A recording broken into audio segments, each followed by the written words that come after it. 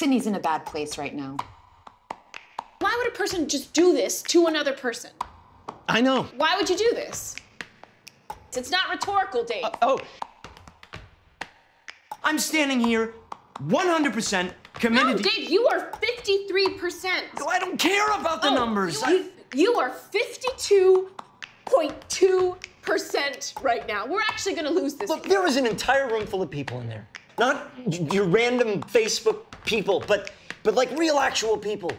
And they're here for us. They want us to get married. Do they?